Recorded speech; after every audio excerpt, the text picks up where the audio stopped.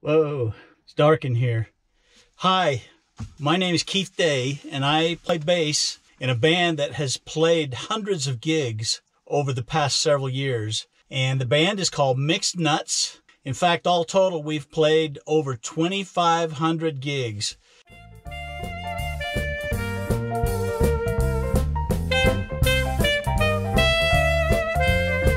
Sorry about the light. I'm actually in my garage. The garage door is shut. We're posting these videos to give you an inside view of our band and just how we do things. So today I've decided I'm actually going to take you along on a gig. I'd like to talk about five things that I consider very important about driving to and from gigs. Uh, I'm going to put these sunglasses on. I know that looks silly. Um, get the garage door closed.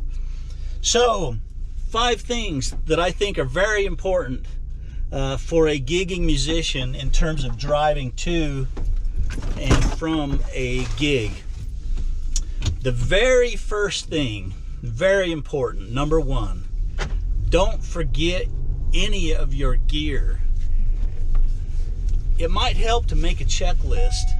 Um, something that you can quickly look at and, and check over your gear to make sure that you have everything that you need. You, and, and that would include uh, backup items.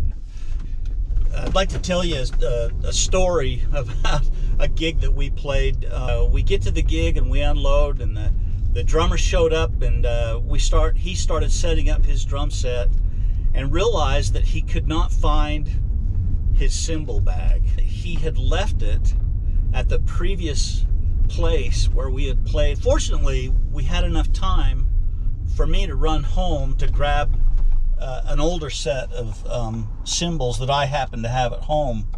But the but even worse than that was his sticks and brushes were all in the pocket of the drum bag that was left at the uh, other place. So what we ended up doing was um, asking the, the folks in the kitchen if they had any wooden spoons. Well, no, they did not have any wooden spoons, but they did have metal spoons. Some large, uh, long-handled metal spoons. And that's what he used. And we played the gig. It was somewhat comical. We all laughed about it. We still laugh about it. Um, but, uh, you know, we pulled it off. But uh, sometimes these lessons are learned the hard way. Don't forget your wallet or your purse. And, um, don't forget the fun. If you don't bring if you don't bring any fun to the gig, it's it's really not worth it. Number two. Number two, most important thing, is find a way to get in and out of the gig in one trip. Now, sometimes you'll you'll you'll get to where the, the gig is and you can back your car right up to the back door and it's only 20 feet uh, from your car to the stage. But other times you might pull up. I know we've got one place we play where we actually have to park down a steep hill, probably at least 50 yards away from the front door. And then once you get into the front door, it's another 30 yards to get back to where the, the band would set up if you have to make multiple trips, it's going to take a long time. And uh, if the gig is delayed because you're still making that one more trip to the car, uh, your bandmates are not going to be very happy. I very often, as I am today, carry the PA system for the band as well as my uh, bass equipment. So I have a lot of equipment with me today. You can probably see it back there. I actually have a one of those uh, rock and roller wagons. Highly recommend them. Um, there's another brand that I think is also pretty good called Jam Stands. This allows me, even with the band's PA system, it allows me to make one trip in as well as one trip back out when the gig is over.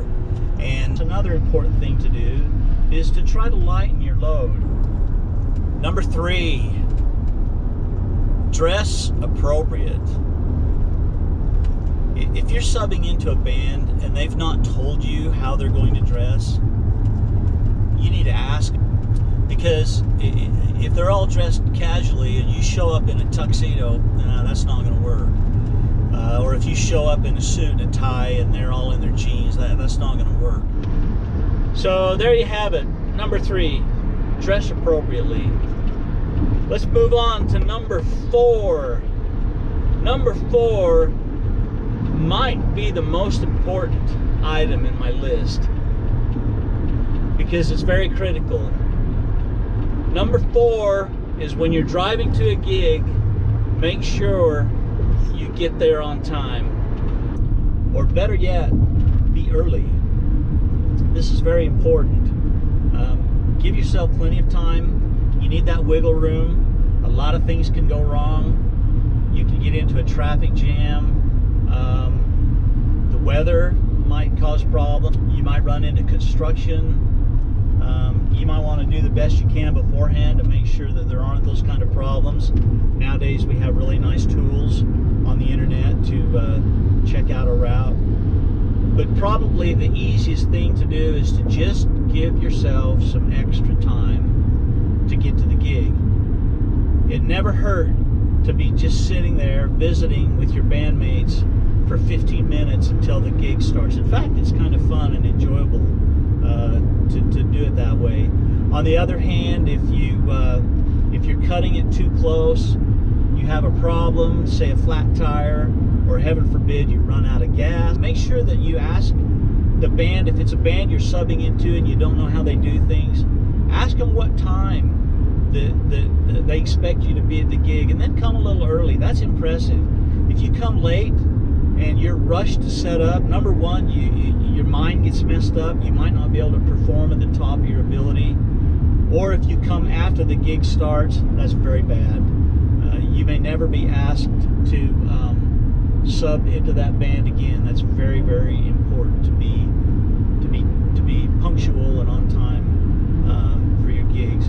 If you want to be a gigging musician and you're not willing to be punctual and on time, don't do it. It, it won't work. It just won't. Okay, that was number four. Be on time. Let's move on to number five. Drive safely. Is your vehicle safe? Is it reliable? Do you have the appropriate pressure um, in your tires? Um, gear packed into your car appropriately? Now you can see the in the back of my little van, and this is actually a a uh, Ford Transit Connect.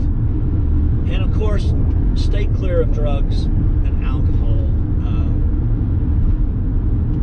alcohol or drugs and driving just simply don't mix. So here we are at the venue where I'm uh, going to be playing today. It's an outdoor gig. Last time I was here, they actually let us take our equipment up through the um, the building and then out. See now I'm finding I'm not finding a parking spot. So it's like I said, I'm gonna have a hard time. It's got a long ways to go to get to the uh, place where the band is is going to play. So I'm really glad that I've got a wagon and I've got a way to get into that gig in one trip, which will save me a ton of time. Here's a fun time lapse of me unloading and uh, going into the to the venue in uh, one trip, as well as the band setting up and then tearing down and uh, getting back out uh, of the building. You'll notice that I run into Bill Marsh, our drummer, on the way in. He also uh, goes in with one trip, has a wagon for all of his equipment. The music that I'll play during this uh, fun time lapse, the first song was recorded years ago by our band. Um, it's sung by Katie Blunt. And then the other three songs are actually recorded from this very gig, and uh, the songs are sung by Katrina Nilsson. I hope you enjoy it.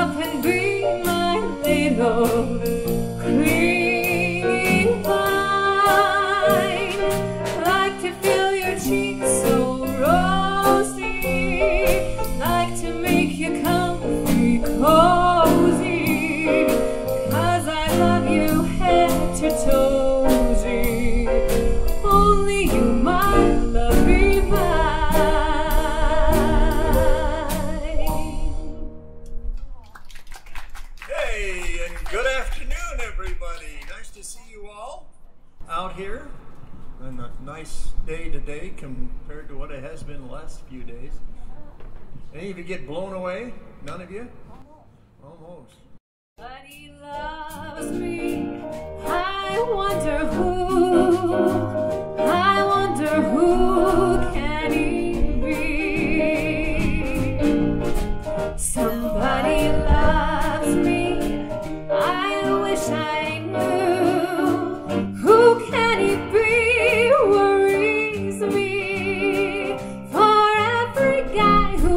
Passes by, I shout, hey.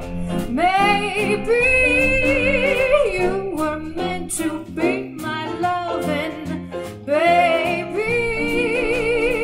Somebody loves.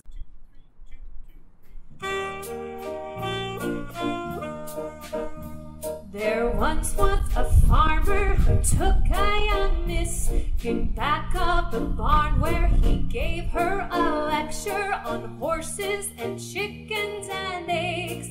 Told her that she had such beautiful manners that suited a girl of her charms, a girl that he wanted to take in his washing and ironing, and then if she did, they could get married and have lots of sweet violets, sweeter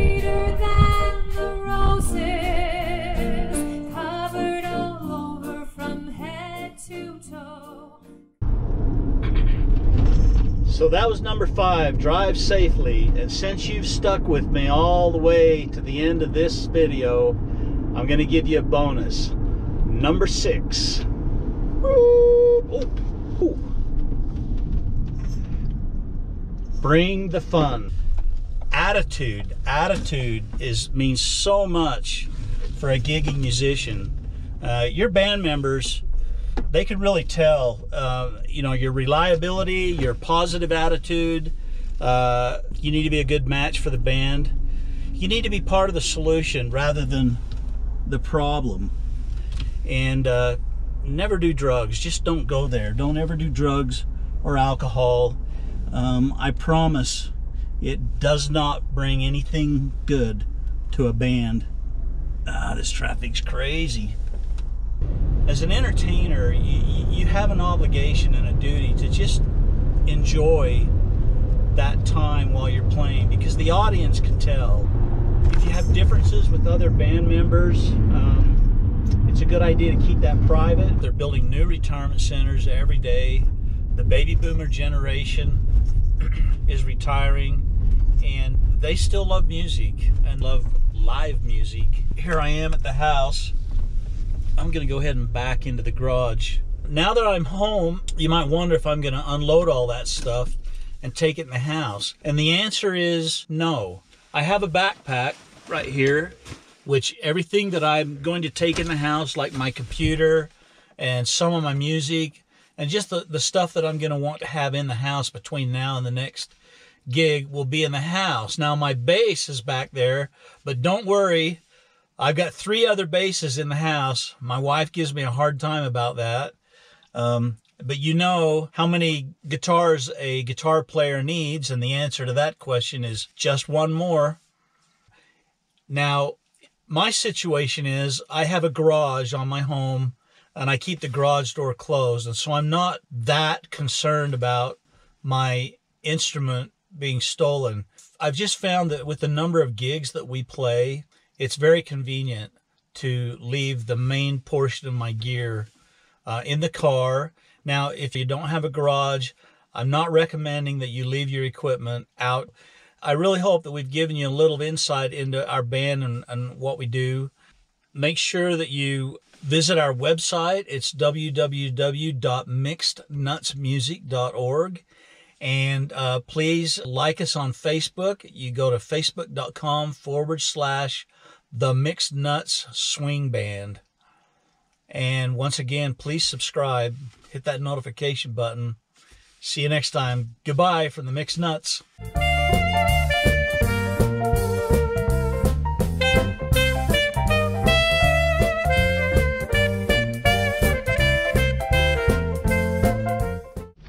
Tip number seven. Don't eat in your car.